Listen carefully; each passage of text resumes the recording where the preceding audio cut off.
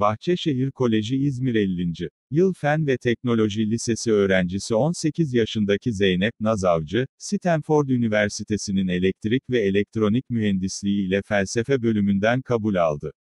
Bugüne kadar yaptığı çalışmalar, gerçekleştirdiği sosyal sorumluluk projeleri ve aldığı ödüllerle başvurusunu gerçekleştiren Zeynep Nazavcı, lise eğitimi boyunca da farklı projeler içinde yer aldı.